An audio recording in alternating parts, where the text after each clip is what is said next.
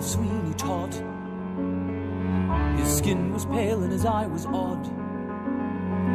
He shaved the faces of gentlemen who never thereafter were heard of again. He trod a path that few have trod, did Sweeney Todd, the demon barber of Fleet Street.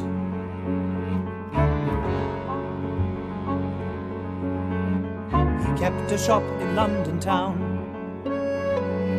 fancy clients and good renown. And what if none of their souls were saved? They went to their maker impeccably shaved.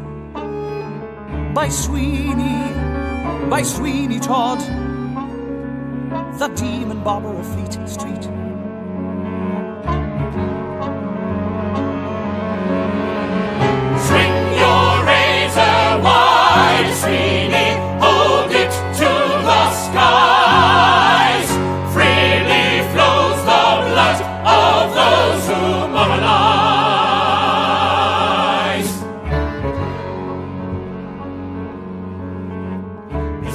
Few, his room was bare.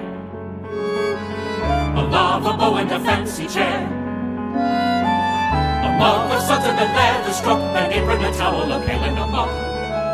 For neatness he deserves a nod. The Sweeney Todd, the demon barber of Fleet Street.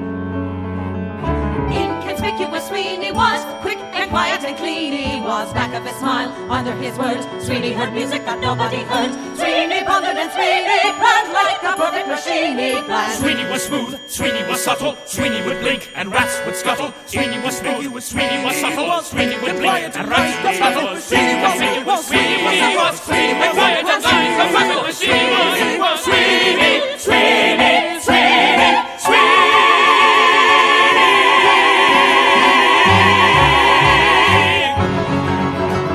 Attend the tale of Sweeney Todd. Attend the tale of Sweeney Todd. He served a dark and a vengeful god. Served the dark and a vengeful god. What happened then? Well, that's the play, and he wouldn't want us to give it away. But Sweeney, but Sweeney Todd, Fleet Street.